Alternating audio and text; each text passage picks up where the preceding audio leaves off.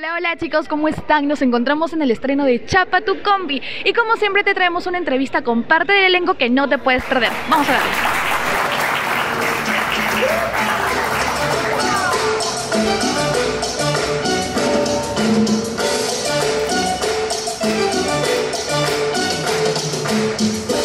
Nos encontramos con Fiorella Díaz. Cuéntanos, ¿qué tal el estreno?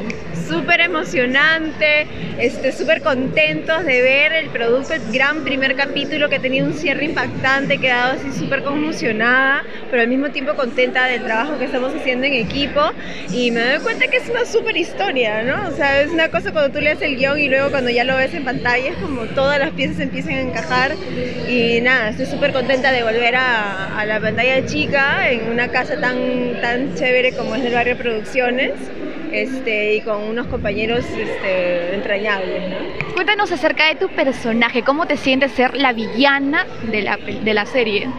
Es divertido. No, yo sé, yo sé, ese primer capítulo ha sido como, ok, la gente va a odiarme un poco, pero con justa razón, pero al personaje, evidentemente. Este, pero sí, es terrible, es terrible lo que, van a, lo que va a continuar y lo que va a seguir haciendo la familia por por, por permanecer en el poder, por, por, por manejar grandes este, cantidades de dinero, eh, representan la impunidad, la corrupción y esas otras cositas que a diario pues, podemos ver.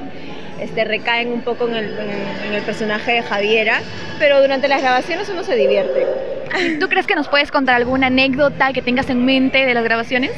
Bueno, ahorita, ahorita lo que está ocurriendo es que el, el peinado que utiliza Javiera es otro personaje adicional.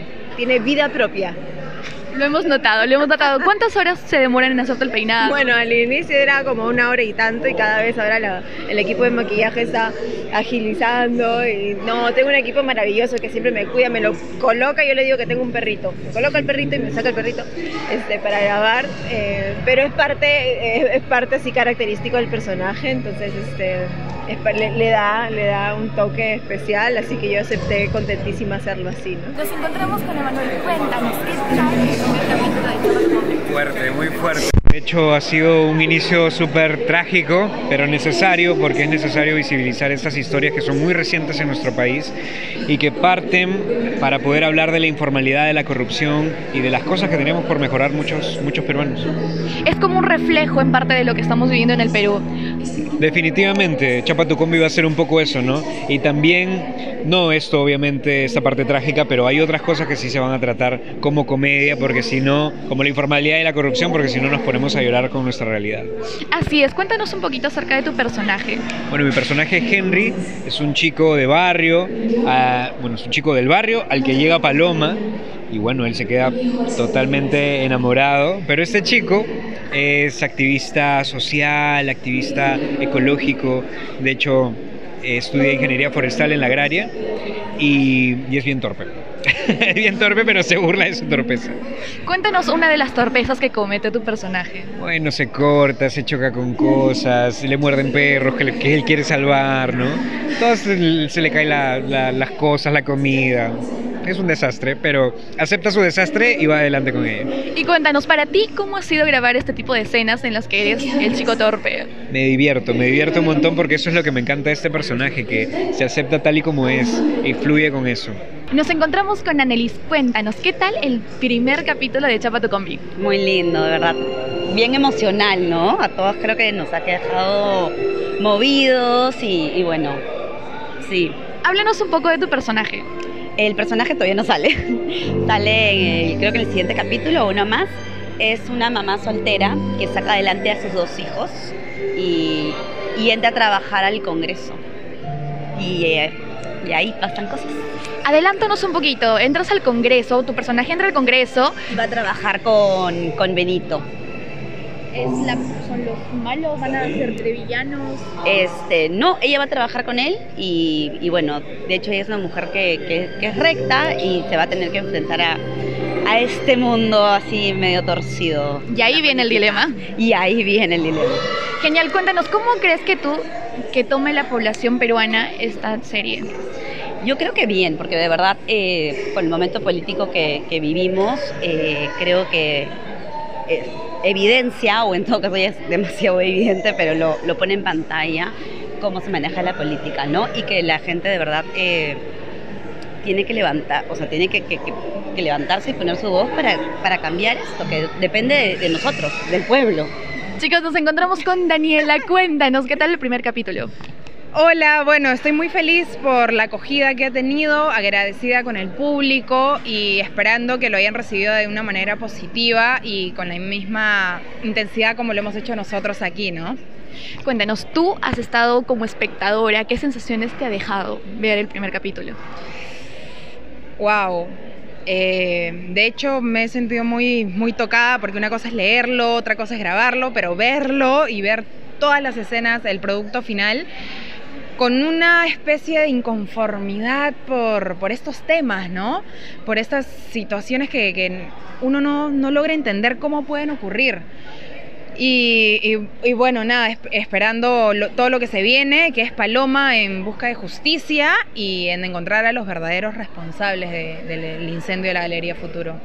Nos encontramos con Miguel. Cuéntanos, ¿qué tal el primer capítulo de Chapa tu combi? Oye, potente, hay mezcla de sentimientos, mucha emoción, orgullo, porque una cosa es haber grabado los capítulos indistintamente y luego ver la edición realmente lo que fue eh, eh, tan, tan fuerte la historia en, en en este primer capítulo, eh, vernos reflejado nosotros también en el trabajo que hemos hecho como actores, en mi caso siendo de alguna forma el personaje siendo responsable de los sucesos que hemos visto. Eh, creo que como lo he visto como espectador hoy día y ha sido importante porque genera un cambio, ¿no? Eh, genera un momento de reflexión, un sentimiento de culpa, que creo que es necesario como sociedad hacer un análisis de cómo vamos, de qué cosas tenemos que mejorar, por qué nos creemos algunos superiores a otros y con el derecho de, lidiar y, abusar de la necesidad de otras personas, ¿no? que es lo que le pasa a mi personaje Salomón Zorrilla, ¿no? Cree que tiene el poder, que con el dinero compra a quien quiere.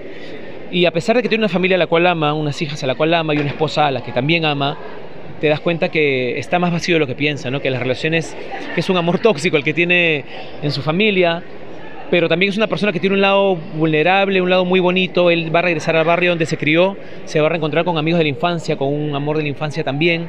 Entonces vamos a ver un matiz importante en el personaje, ¿no? También de no decir son simplemente los malos, sino de este, ver el otro lado, ¿no? De los personajes. Correcto. Y por qué actúan como actúan y por qué son como son, ¿no? Eso es genial. Cuéntanos un poco cómo crees que la población peruana tome esta serie, porque en verdad tocan temas muy fuertes Sí, y que lamentablemente día a día los vivimos en nuestra sociedad. Sí, sí, los vivimos. Eh, yo creo que eh, lo, lo van a tomar con mucha madurez. Eh, por ahí leí algunos comentarios en redes de si estamos lucrando o no con una tragedia como la de las galerías. Eh, yo respeto mucho la opinión de la gente. Este, mi participación en el Artista del Año y en el dúo me han dado con palo. He aprendido un poquito a hacer que, me, que no me afecte, aunque para mí era algo nuevo, sentir este, este ataque gratuito de personas que no conoces y que se amparan en una pantalla. Sin embargo, aprendes a lidiar con eso. Eh, volviendo al tema de que mucha gente dice que lucran, creo que no va por ese lado. Eh, creo que lo que estamos haciendo es mostrar una realidad justamente con la misión de que eso no vuelva a ocurrir, ¿no?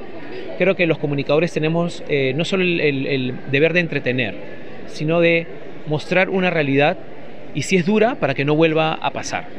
Mostrar una tragedia es justamente para recordar, porque no vamos a leer una noticia, una cosa es entrar a Google y leerlo, y una cosa es ver plasmado a través de unos actores lo que realmente pudo vivirse en ese momento, ¿no?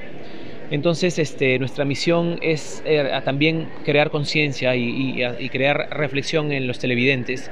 Y creo que Chapa tu combi es una historia que recoge mucho la coyuntura social, actual, política, pero también con mucho humor, porque los peruanos necesitamos ya también reírnos de las cosas que nos pasan, porque si no estaríamos todos en un puente a punto de aventarnos, ¿no? Entonces, creo que nos va a hacer, a través de la comedia y todo, va a ser más digerible. Muéranse todos, perdón, que entre el mensaje y sí, sí, o sea, necesitamos un cambio, necesitamos como sociedad cambiar el chip en nuestros hijos, en nuestra familia, tomar decisiones para, yo creo que, que- que- que uno cree que ha tocado fondo, pero siempre hay una luz al fondo del túnel, ¿no? Entonces, si estamos tan abajo en los niveles de violencia, de, intolerancia, de falta de respeto hacia el otro, de valores, de, atropellarnos entre todos, creo que hay solución y creo que Chapa tu combi va a ser como un pequeño cachetadón a decir, mira cómo estamos, al decir chapa tu combi, no o sea, arréglatelos tú solo, el individualismo que tanto, a, dónde, a, qué, a qué punto nos ha llevado, ¿no? Así que nada, eh, con mucha fe en que la historia llegue a sus hogares, que nos dejen entrar en las pantallas de toda la gente, de lunes a viernes a las 9 y 30 y generar un cambio en la sociedad.